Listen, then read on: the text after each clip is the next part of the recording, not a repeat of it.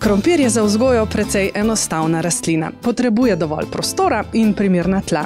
Tudi kasneje, ko bo rastlina zrastla, bo koristna. Njeno bogato zelenje preprečuje, da bi se nam razrastel plevel, bogat koreninski sistem pa rahlja našo zemljo. Pri krompirju torej izberimo sorto in razmislimo o kolobarju. Zelo dobro je, da krompir nimamo na isti lokaciji štiri leta. Ravno tako tudi ni dobro, da imamo tudi druge razhodnike, kot so paprika, paradižnik. Kolobarjenje je potrebno zato, da preprečimo uh, bolezni, da preprečimo uh, prihod uh, škodljivcev. Krompir sadimo za rastlinami, kot so cvetača, brokoli, ohrot in pa repa. Naslednje za krompirjem pa sadimo čebulo, česen, šalotko ali pa por. V mešanem posevku se s krompirjem obnese hren, ki ga varuje pred koloradskim hroščem, skupaj s kumino in poprovo meto pa bogomoljem izboljšal okus. Dobri sosedje krompirju so še špinača, hren, pastinak, jagode, fižol in čebula, slabše pa bo rasel v družbi s paradižnikom, zeleno in bučkami. Čas sejenja krompirja je odvisen od vrste tav, podnebnih značilnosti in vremenskih razmer. Najprej moramo paziti, da krompir, ki ga dajemo v zemljo, da so tla primerne temperature, tam nekje med 7 in 9 stopinj Celzija. To je navadno tam nekje konec marca, v začetku aprila. Seveda je to pogojeno od, od uh, trenutnega, uh, trenutnih vremenskih razmer. Za hladne predele, ki imajo tudi krajšo rastno sezono, za področja, kjer imajo sušna poletja ali pa za pridelavo zelo zgodnih vrst krompirja, pa se zelo obnese nakaljevanje krompirja pred sajenjem. In sicer samo od, odstranimo pokrov.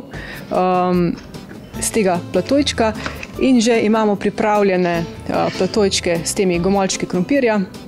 Te gomolčke krompirja lahko potem postavimo na neko primerno svetlobo. Zdaj ta svetloba naj ne bo direktna, lahko je, ne sme biti pa pretemna oziroma ne sme biti tema.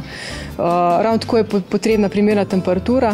Sedaj odvisno, če želimo hitro nakaliti, je to potrebno dati na 20 stopinj spravi na primerno uh, svetlobo, in ti se bojo potem nakalili v roku nekih 14 dni. Ko kaliči, torej se pravi, zraste tam nekje od centimetra do dveh centimetrov. Ti kaliči so na, zaradi primerne svetlobe tudi lepo zeleneli in takšni so potem tudi primerni za naprej za sajenje. Drug način nakaljevanja je pa uh, daljšo, daljše obdobje nakaljevanja in sicer tam nekje v roku enega meseca, da v enem mesecu za en mesec nakaljujete. To je pa pri temperaturi tam nekje od 10 do 15 stopinj Celzija. Ti kaliči uh, ravno tako zrastejo tam nekje do 1 do 2 cm ti so tudi potem najbolj pri, najprimernejši, najbolj tako močni in primernejši potem za, za sajenje v, v tla, v zemljo. Če nakaljujemo za krajše časovno obdobje, bo kaličev manj in s tem kasneje tudi gomoljev, a bodo ti zrasli večji. V primeru daljšega nakaljevanja pa bo kaličev in gomoljev več, a bodo v tem primeru nekoliko manjši. Če mogoče smo že kupili seme za naš zgodni krompir, pa smo spregledali, da lahko kupimo že v takih lušnih zabojčkih, pa tudi obstaja ena alternativa, da še vedno lahko nakaljujemo. Tako je. Uh, v ta namen. Pa v naših trgovinah, to se pravi v kaljah in pa v rodovitah, ponujamo tudi takšne uh, plastične zabojčke, v katere ravno tako postavimo, postavimo uh, gomolje na isti način, kot s temi zabojčki, naredimo uh, s temi plastičnimi posodami. Je pa res za te plastične posode, potem ko boste nakalili. Jih ne devati stran, lahko jih uporabite tudi, tudi za uh, namene vzgoje, vzgoje drugih sadik, ki jih imate potem mogoče še namen, ki je kam v kakšen uh, vrt ali kakšno gredico uh, posaditi. Ko je krompir nakaljen, je čas za sajenje. Med vrstami mora biti razmak med 65 in 75 cm, med posameznimi gomolji znotraj vrste pa naj bo razmak 25 do 35 cm.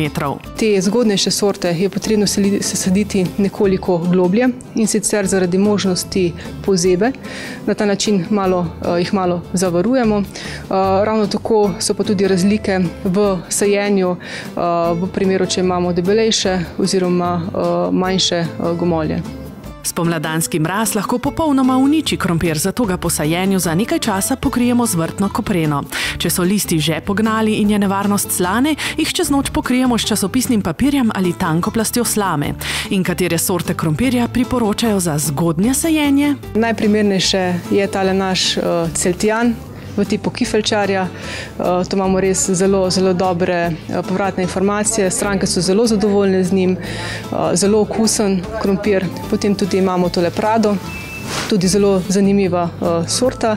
Naslednja je tudi Dajfla, ta je bela sorta, in pa rozara, ki je z rdečo kožico in rumenim mesom, tudi zelo primerna za gormane, ki je odličnega okusa. Zelo dobro odporna je tale, naprimer Everest, ki je zelo odporna na sušo. Drugače posebna je pa tudi Nataša. Nataša, to je pa zelo dobra za praženje, ima zelo močno rumeno, rumeno, rumeno barvo mesa in pravijo tudi zlato iz zemlje. Pač ravno s tem razlogom. Kasnejše sorte, ki jih tudi ponujamo, so pa Red Lady, Desiree, Agria, Ramos, Romano. Za gojitev v zelenjavnem vrtu so najprimernejše zgodnje sorte krompirja, ki so na voljo tudi v manjših vrtičkarskih pakiranjih po 2,5, 3 in 5 kg. Poleg tega, da nam zgodnje sorte dajo pridelek takrat, ko je prvi krompir v trgovinah še razmeroma drag, pa se z zgodnejšim izkopom izognemo tudi okužbi s krompirjevo plesnijo.